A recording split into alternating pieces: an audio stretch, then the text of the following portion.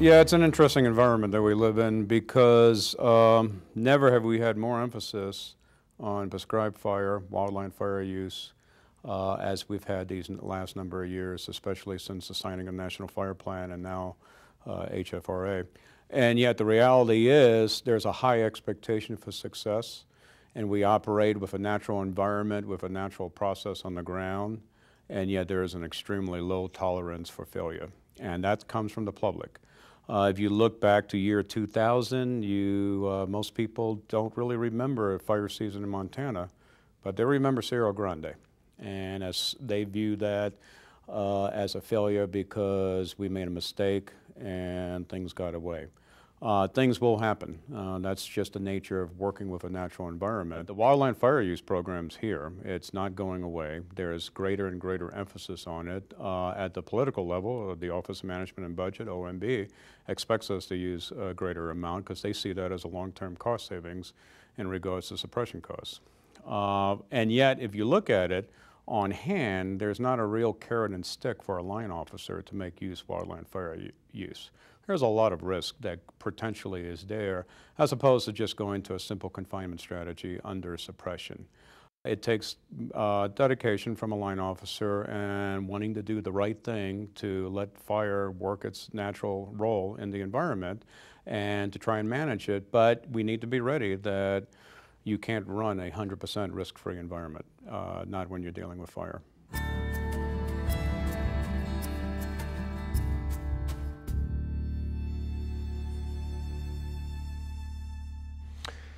Does HRO have applicability for wildland fire use program? I think it's, it's one of the best places to employ the, the techniques, and I call them techniques because that's how they should be used, is dealing with unexpected events. Um, highly reliable organizing and the process that has developed uh, from aircraft carriers to you know air traffic controllers, these people deal with very potentially unexpected events, has proven itself, and it's a technique. Now, it, it's not another checklist. It's not something else you pull out of your IRPG and go down the list. It's a way of doing business. It's how you think about a problem and how you prepare for the problem, doing things differently. Um, yeah, I, I, I think there's very few tools better um, suited for wildland fire use at this point. Wildland fire and all the elements involved with it is an ever-changing and never the same sort of situation, whether it's suppression, wildland fire use, prescribed fire. You've got things going on that are changing, you need to adapt. Any sort of technique that helps me to be able to learn and adapt to those situations, I'm gonna latch onto because otherwise it's just you're destined not to be able to have a system to help you improve what you do in these unexpected cases. You'll be lucky, um, you'll probably be unlucky unless you have some sort of formula that helps you go through a process of how do I learn, how am I missing things within this, and do little key checks throughout those unexpected events. A couple of things I would recommend to folks who've faced a similar situation in trying to employ, especially the HRO or um, thinking about unexpected events and how to plan for them. I try to take um, stock uh, on a, a, regular basis of what's going on, uh, what, what things are priority, what things I should be paying attention to. Take yourself out of the environment for a little while. Uh, however you need to do that and step back and get perspective on priorities, uh, safety being uh, one that should be there all the time. If you don't do that, you can be the person on the train going down the tracks and you never get an idea where things are going. So that's a conscious thing. Usually after coffee in the morning, I'll do that. Um, and right after that, I, I, pick up weather, which helps me calibrate for the day, and then spend a little time in the evening thinking about, okay, where are we? What's the potential? What's the worst thing that can happen? And what am I not thinking about? Predicting what a wildfire or a wildland fire use fire is going to do is a, is a risky business because there's just so many variables. Uh, you can think about some of those variables like fuel type, uh, like what you think the weather's going to do, um, or what the, the weatherman tells you the weather's going to do. But there's just so many other things that that can come into play or somebody can be wrong about what is going to happen. And so you always need to be, I think, vigilant. You, you need to pay attention and be vigilant and be ready um, to change your plan uh, at the right time. Uh, the, the most important thing as a decision maker is to, you know, be involved and, and, and watch what's going on and know when it's time to change your plan and um, communicate with the people who know more than you do.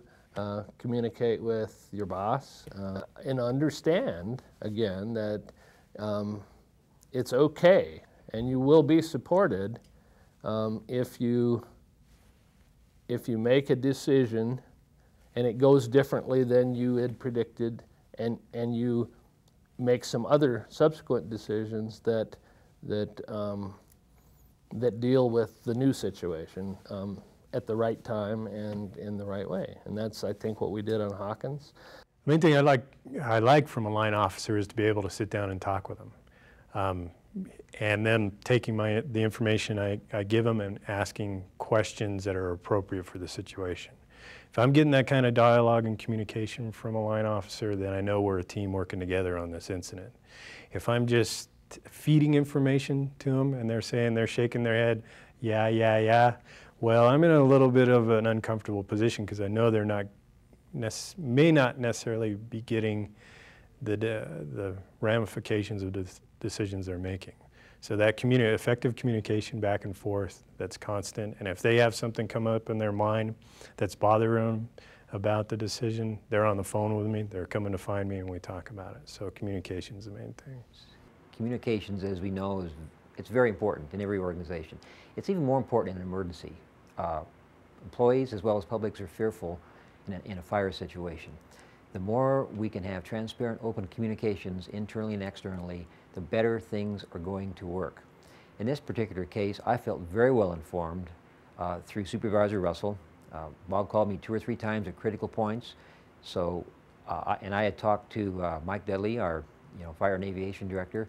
And so when the whole organization pulls together or communicating together, I, I think there's more confidence we're going to be prepared to do the right thing. I think we have to be very careful to get lulled into what we think the fire is going to do. You know, there we do need to look at what do we think the fire is going to do and and run that out. But it's almost like a dual path. We also need to be looking at um, what if it does something different? Because it's like having a tiger by the tail once it gets up and running. And so if you haven't gone there because you thought it wasn't going to go there, um, you're going to be way behind the planning curve.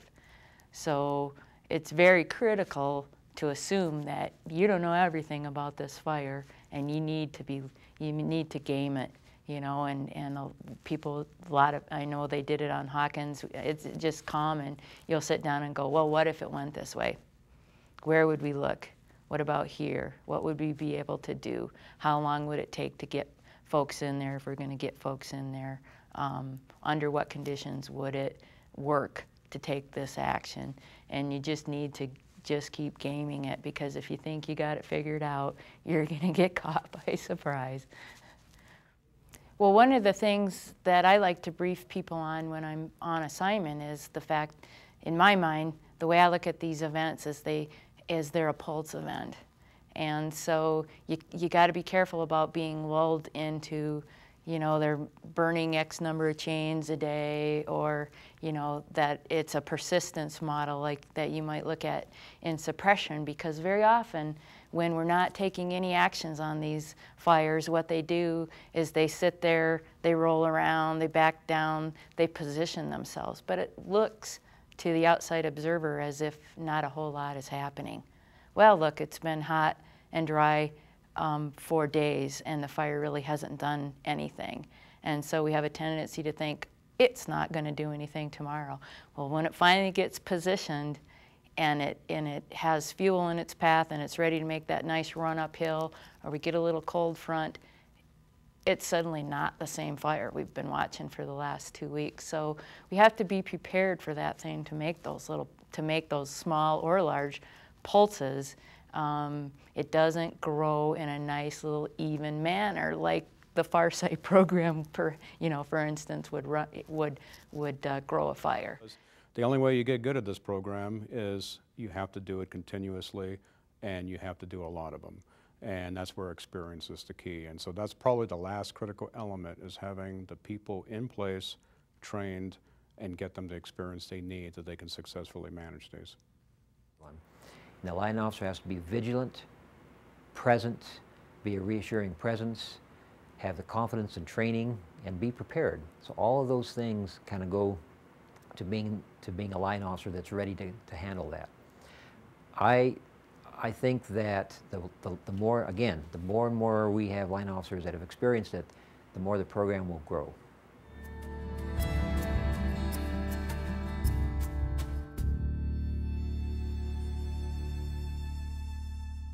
They have to have faith and trust in the staff that they have, that the plans are there, the plans are in place and are done well, and that they understand the plan. They need to be involved at that level to know what they're getting into and what they're signing off on. They also need to know that they have the support from their supervisor uh, and the regional office in general, so that if something does go wrong, they don't have to worry about uh, anyone breathing down over their shoulder about process.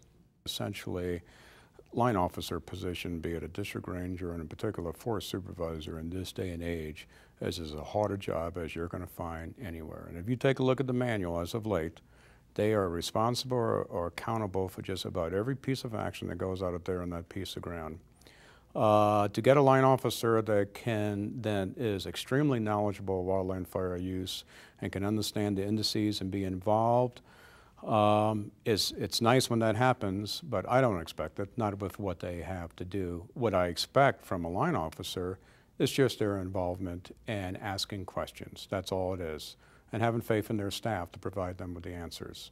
And when they can't get those answers or they feel uncomfortable, that's when I should get the phone call with some questions. But it's a tough job being a line officer. I don't envy it.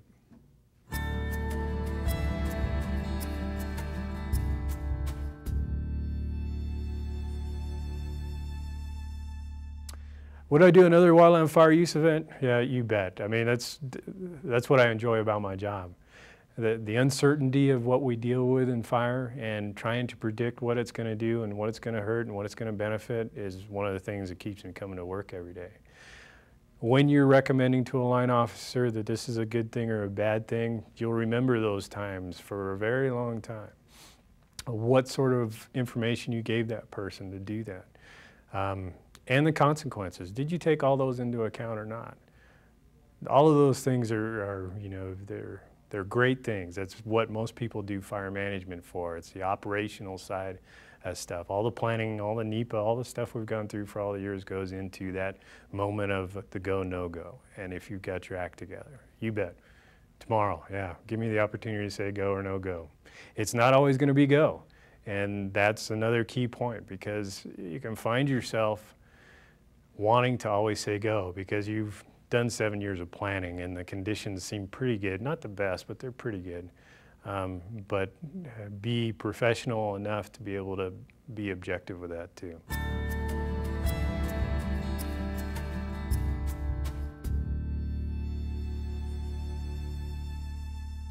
Well, the future of wildland fire use, uh, you know, it's, it's, it's one of the tools in the toolbox in fire management.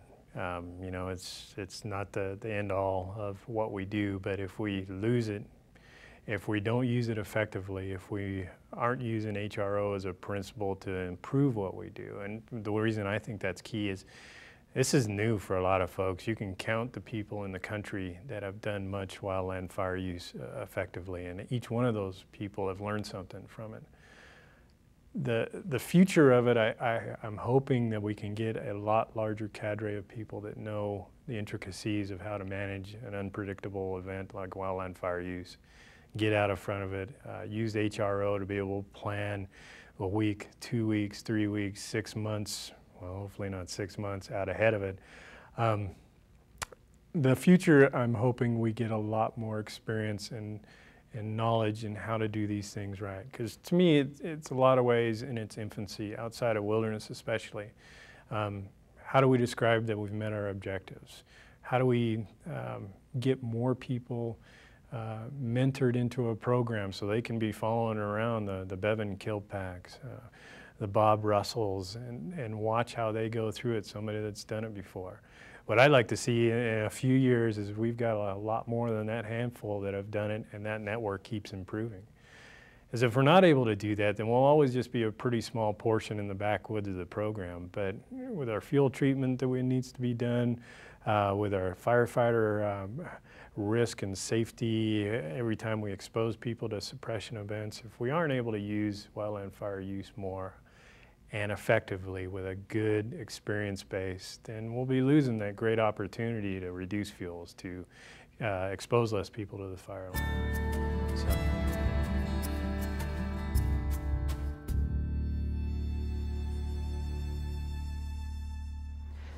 We will sooner or later probably have uh, wildland fire use operations that go in a negative way and we'll get a lot of publicity for that. And I think that if that happens to us, we've got to make sure that we, that we deal with it truthfully, honestly, quickly, and we learn from those lessons and we ratchet up the competence of the program, uh, or, or in the long run, the program will go down rather than up. Now, I'm an optimist here. I think this is such a good tool that it's, that, it's going to go up and we're going to see more wildland fire use because it can be a safe, cost-effective, efficient way to achieve a desired result on the ground. I look forward to Region 4 having a wildland fire use program that's larger than it is now in a, in a safe, efficient, cost-effective way. We manage vegetation and we improve safety and we do it in a way that we're, that we're prepared and trained to do. And I think that's the path that we're on, and I just encourage all of us in Region 4 and all of our line officers to take advantage of, of a tool that we just, we just must have.